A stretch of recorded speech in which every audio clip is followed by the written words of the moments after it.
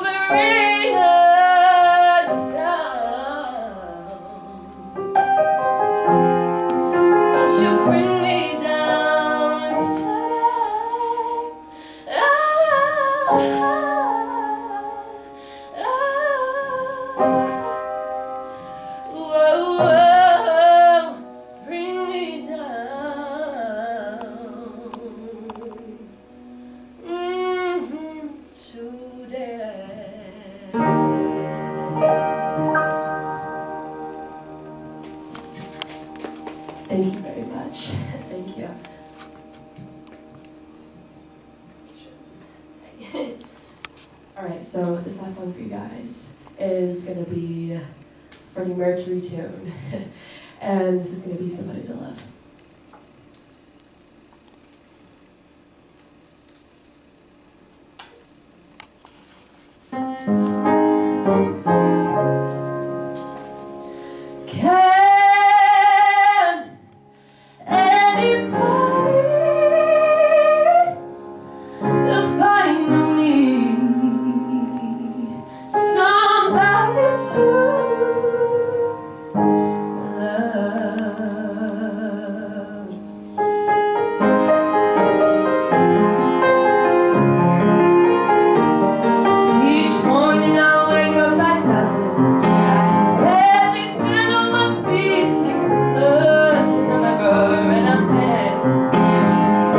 me?